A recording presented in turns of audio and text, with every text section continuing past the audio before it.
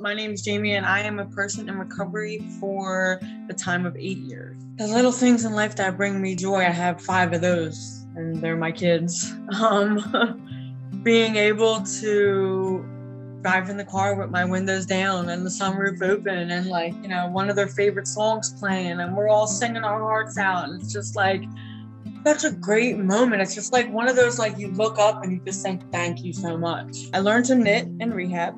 So I do that often. Um, being able to make my kids and my sisters and my mom and my nieces and nephews hats and scarves and gloves. Simple things like that that are simple to other people.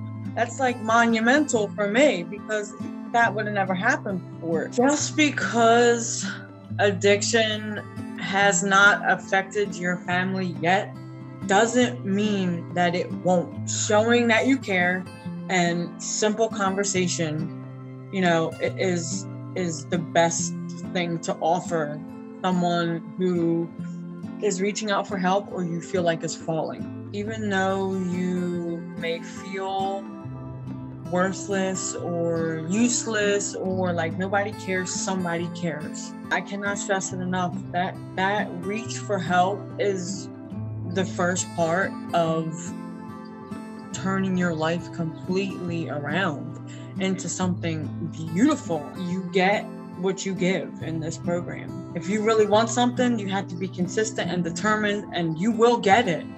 You have to work for it though.